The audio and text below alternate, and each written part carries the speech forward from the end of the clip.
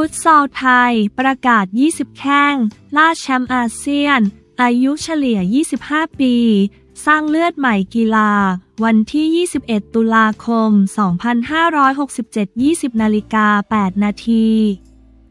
สมาคมกีฬาฟุตบอลแห่งประเทศไทย ในพระบรมราชูปถัมภ์ประกาศรายชื่อ 20 นักฟุตซอลชายทีมชาติไทย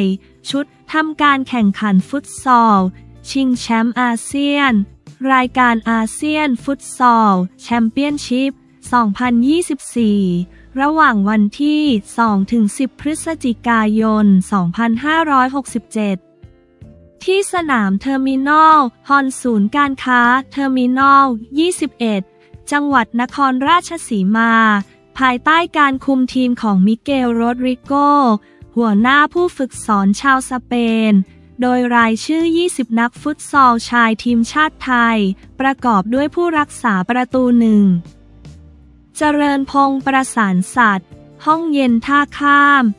2. นัทพงศ์ยีมรบ การท่าเรือ ASM 3. ธีรรัตน์อรไทย บลูเวฟชนบุรี ผู้เล่นแนวรับ 4. นรงศักดิ์วิงวอน ห้องเย็นท่าข้าม 5. ธนโชตสอแสวง แบงคอก BTS 6. นัทศักดิ์โพธิ ธรรมศาสตร์สแตลเลียน 7. นัชนน แสงทอง บลูเวฟชนบุรี ผู้เล่นริมเส้น 8 เทิดศักดิ์เจริญพงศ์ห้องเย็นท่าข้าม 9. อาทิตย์พงศ์มุ่นพลาย ห้องเย็นท่าข้าม 10. อมรินเอกาพันธ์ ห้องเย็นท่าข้าม 11. จุตินันรักษาทรัพย์ Black Pearl United 12. พิชยุทธกิติพานุวงศ์ Black Pearl United 13 ทีดานายยาเขียวแบงคอก BTS 14 ชาวาลาสีอาวุธ แบงคอก BTS 15ทีรพัฒน์เหมือนสี ธรรมศาสตร์สแตนเลียน 16 กริดอรันสัญญาลักษ์บลูเวฟชนบุรี ผู้เล่นหน้าเป้า 17 พีรพัฒน์แก้ววิไลบลูเวฟชนบุรี 18 ธนวัฒน์เกิดบางระจัน Black Pearl United 19 ปิยวัฒน์เพชรน้อย ฟุตซอลไทยอาร์มี่ 20 ฉัดโชดช่วง การท่าเรือ ASM ด้าน บิ๊กทิน สุทินบัวตูมผู้จัดการทีมฟุตซอลทีมชาติไทย กล่าวถึงรายชื่อฟุตซอลทีมชาติไทยชุดสายเลือดใหม่ ว่า ต้องบอกว่าเป็นทีมสายเลือดใหม่ มีนักเตะหน้าใหม่ที่กระหายในการเล่น อายุเฉลี่ยอยู่ประมาณ 25 ปี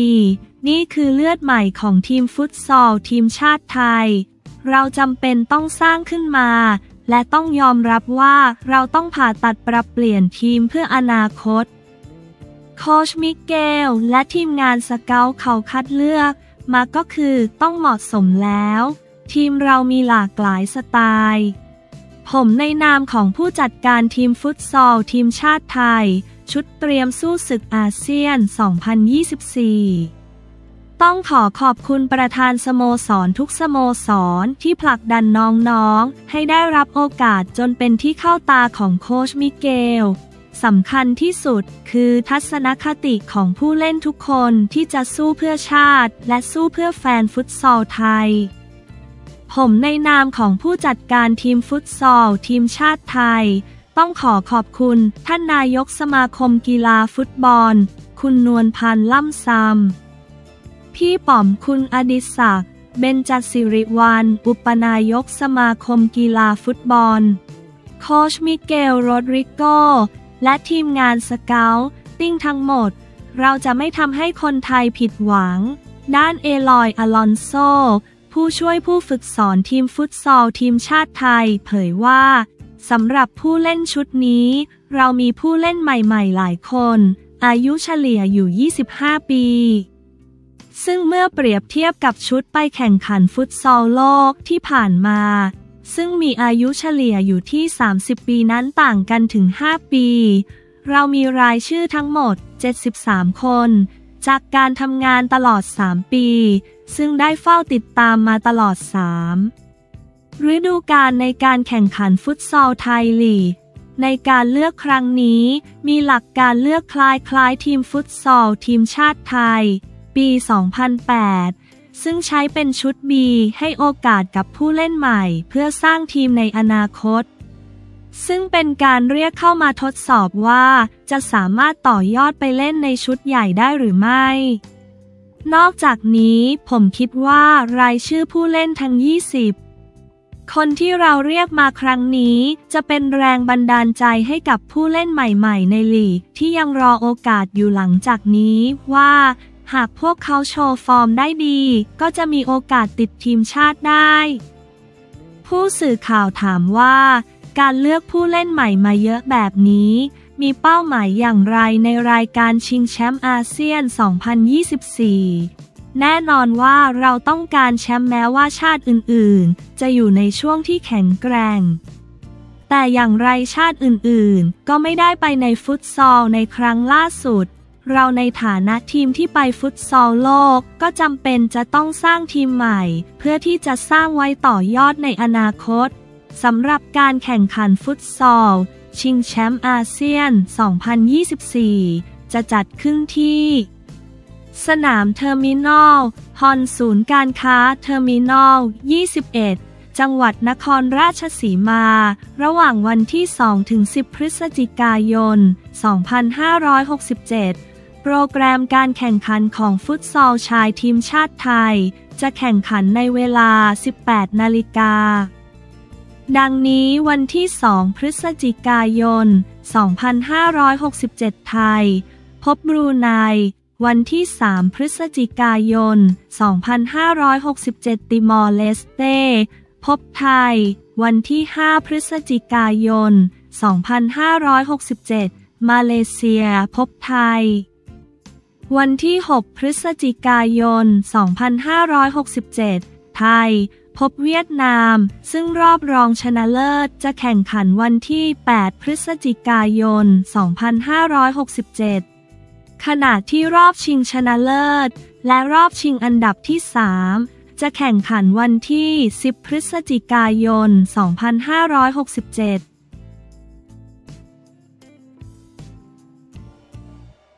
กมทศาสนาจ่อเรียกหน่วยงานเกี่ยวข้องแจงปมววชิระเมธี เทศเชียดิไอคอน การเมืองวันที่ 21 ตุลาคม 2567 15นาฬิกากมทศาสนาจ่อเรียกหน่วยงานเกี่ยวข้องแจงปม ววชิระเมธี เทศเชียร์ดิไอคอนวันที่ 28 ตุลาคมนี้ยันไม่นิ่งนอนใจ หากผิดก็ว่าไปตามผิดวันที่ 21 ตุลาคม 2567 นางเอ็มออนสีกงพาน สมาชิกวุฒิสภา สว ในฐานะประธานคณะกรรมาธิการ กมท การศาสนาคุณธรรม จริยธรรม ศิลปวัฒนธรรม วุฒิสภา เปิดเผยว่าในการประชุมกมทศาสนาได้หารือ เกี่ยวกับการวิพากษ์วิจารณ์พระเมธีวชิโรดม หรือท่านวอวชิระเมธี พระนักวิชาการขนาดเทศเชีย บริษัทดิไอคอนกรุ๊ป รวมถึงกรณีบ้านแชร์น้องแครอท โดยมีผู้เชี่ยวชาญกว่า 20 คนมาให้ความเห็นย้ำเรื่องนี้เป็นเรื่องละเอียดอ่อน และกมทการศาสนาไม่ต้องการให้เกิดความขัดแย้ง นางเอ็มออนกล่าวต่อว่า ขณะนี้สำนักงานตำรวจแห่งชาติกำลังดำเนินคดีกับบริษัทดิไอคอนอยู่ และสำนักพระพุทธศาสนาก็รับทราบเรื่องแล้ว และในวันที่ 28 ตุลาคมนี้ กมทการศาสนาจะเชิญหน่วยงานที่เกี่ยวข้องเข้ามาให้ข้อมูลอีก นางเอมออนกล่าวอีกว่า ยืนยันกมท ไม่ได้นิ่งนอนใจ แต่ต้องทำให้รอบคอบ หากผิดก็ว่าไปตามผิด โดยในเรื่องเดียวกันนี้ กมทเองก็ติดตาม การทำงานของกมท การศาสนาของสภาผู้แทนราษฎร อย่างไรก็ตามตนได้กำชับให้อนุกมท ของกรรมาธิการวุฒิสภา เป็นแม่งานรับศึกษาในเรื่องนี้ หนุ่มกัญชัย เปิดใจถึงววชิระเมธีเสียใจถูกว่า เอาคนไม่ผิดเข้าคุก ชี้กรมไม่ได้ห้ามฟ้องพระ แต่ขอใส่บาตรให้เปิดประวัติ ว วชิระเมธี พระนักเทศชื่อดัง ผู้เปลี่ยนธรรมะให้เข้าถึงง่ายดิไอคอนชาคนตัดต่อคลิปท่านว วชิระเมธี ให้เข้าใจผิดใส่ร้ายพระโจมตีบริษัทเสียหาย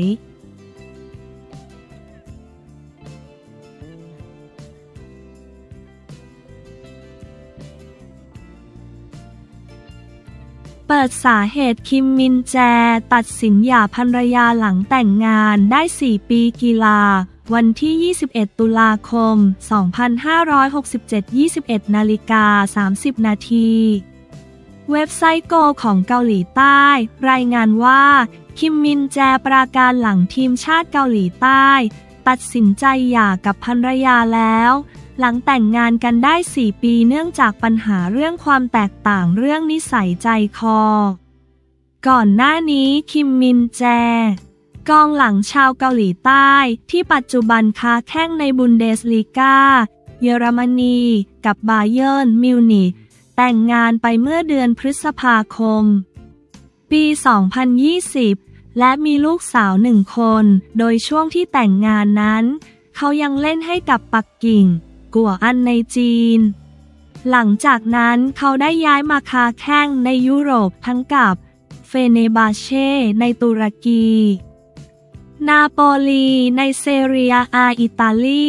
และล่าสุดกับบาเยิร์นมิวนิกในเยอรมนี ล่าสุดรายงานระบุว่า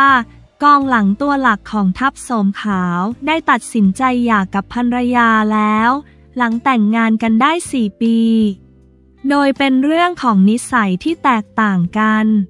โดยทางกองหลังรายนี้ยืนยันว่า จะยังทำหน้าที่ผู้ปกครองให้ดีที่สุด และจะให้ความสำคัญกับลูกเป็นอันดับแรก พร้อมกับสัญญาว่าจะทำผลงานในสนามให้ดีด้วย โดยทาง Orange Bond Agency ของคิมมินแจออกมาเปิดเผยเมื่อวันที่ วันที่ 21 ตุลาคมว่า หลังจากการพูดคุยอย่างถี่ถ้วน คิมมินแจตัดสินใจยุติการแต่งงานของเขา และดำเนินการหย่าร้าง โดยเป็นข้อตกลงกันของทั้งสองฝ่าย